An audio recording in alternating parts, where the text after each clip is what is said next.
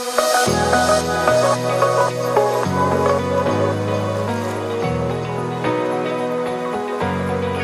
Здраво, јас сум Елена Коруновска, учам во економското училиште во профилот во профилот правен техничар.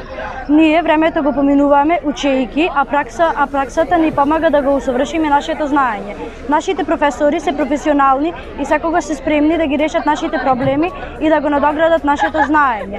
Со, на, со нашиот профил може да се стане успешен судија, адвокат, нотар. Затоа ви посекуваме топло добре дојде да во нашето училиште. Јас сум Наталија Продановска Ристеска, професор по правни предмети. Еве го представувам правниот техничар како профил на нашето училиште.